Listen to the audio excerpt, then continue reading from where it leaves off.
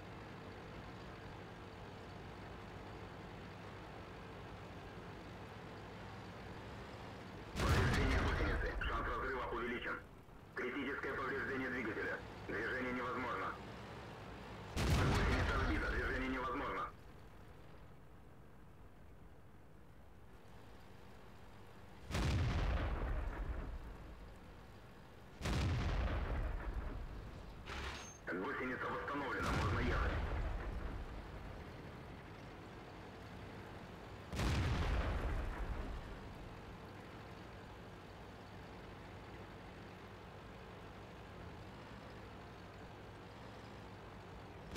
Верхвод контужен, скорость движения и поворотов снижена. Повреждение гусеницы, шанс разрыва увеличен. Не пробил.